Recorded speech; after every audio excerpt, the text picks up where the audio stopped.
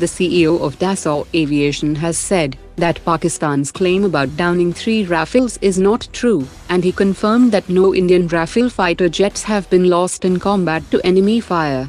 However, Trappier also acknowledged a separate incident involving Rafale aircraft that suffered a technical failure at over 12,000 meters, and the event did not involve enemy contact, and an investigation into the technical cause is currently underway. French intelligence has concluded that China used its embassies to discredit the performance of Rafale fighter jets after the May 2025 clashes between India and Pakistan. Chinese defense attaches actively lobbied countries like Indonesia to cancel further Rafale purchases, promoting Chinese J-10C instead. Hindustan Aeronautics is set to conduct the first test of the Astra Mark 1 missile from the Tejas Mark 1A in August 2025, that will assess Astra Mark 1's performance with the new Israeli LM-2052 radar, and pave the way for full operational certification. India has decided to transfer the debris from Chinese-supplied PL-15 air-to-air missiles to a friendly nation upon its request. China's offer to supply 40 J-35A fifth-generation stealth fighter jets to Pakistan at 50% discounted price has hit a roadblock, as China has demanded a US-style monitoring system of J-35A through ground staff and technical agreements, to prevent potential access of J-35A by American personnel. A senior official of Israel's Rafael Advanced Defense Systems has said that Israel has offered the Sky Sting 6th generation long-range air-to-air missile to India for integration on board Su-30 and other combat aircraft.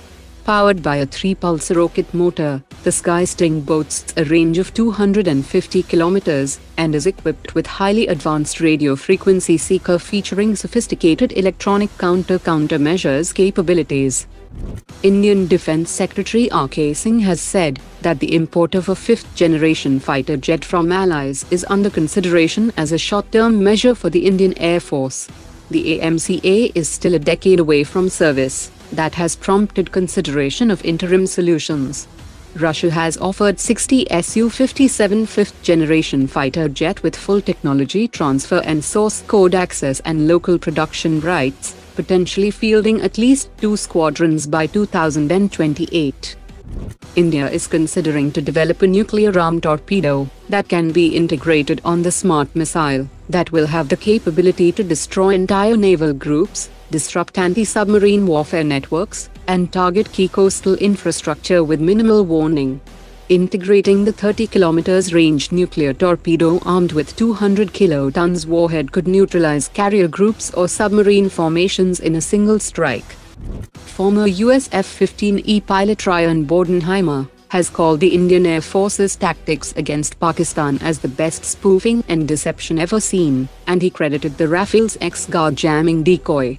Integrated into the Rafale Spectra EW suite, the X-Guard is a 30 kg towed decoy that emits 360 degrees jamming signals mimicking a real jet, that fooled active seekers on Pakistan's 8 PL-15E missiles recovered in India, and that Pakistani claims of downed Rafales were in fact successful decoy deployments.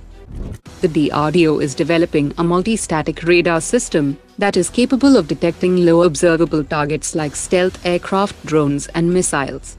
The multi-static radar will use spatially dispersed transmitters and receivers to capture scattered signals from multiple angles, and will integrate advanced signal processing machine learning and data fusion to reconstruct targets even in contested environments. The distributed nature of multi-static radar also makes it more resilient to jamming and electronic countermeasures. Today's top 3 comments